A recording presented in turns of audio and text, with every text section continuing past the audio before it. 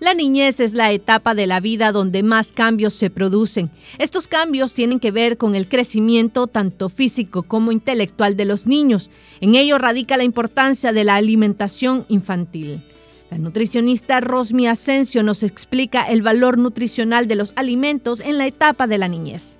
Recordemos que los alimentos, los nutrientes se diferencian, ¿verdad? Tenemos alimentos energéticos que son los provenientes de, las los azúcares. Entre ellos encontramos la fruta, las verduras, los cereales. Y estos son los que nos van a permitir estar más alerta y que nuestro cerebro funcione. El cerebro solamente funciona con glucosa, con azúcar. En los hogares muchas veces podría convertirse en un reto el preparar alimentos con valores nutricionales necesarios para la niñez y en muchas ocasiones los adultos deben aprender a ingeniárselas. Son los que contienen proteína, como son las leches, el huevo, carne si es posible, ¿verdad? Y si no, pues gallo pinto, su arrocito, sus frijoles. Fruta de la temporada. Eso es lo más cómodo, lo abundante y lo que el cuerpo realmente necesita para los niños en edad de crecimiento. Una tortilla de maíz lleva calcio. Si al niño no le gusta la leche, pues tenemos el sustituto de la tortilla de maíz. Ya tenemos la parte del calcio, de la proteína. Eh, si necesitamos energía, podemos poner también un cereal que viene siendo el arroz o un poquito de gallo pinto. Lo podemos enriquecer con una grasa buena, una tajadita de aguacate.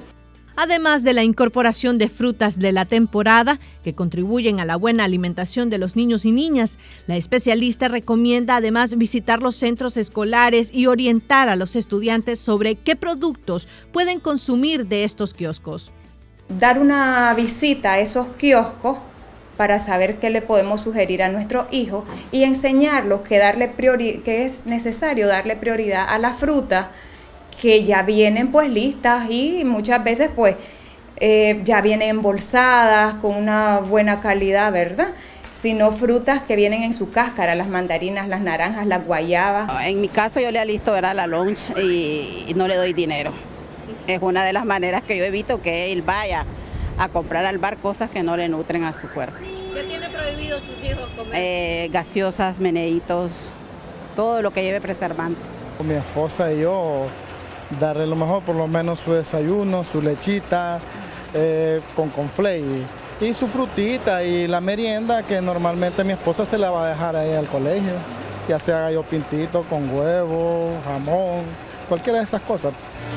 Sumado a un consumo de frutas y granos, es importante el consumo abundante de agua.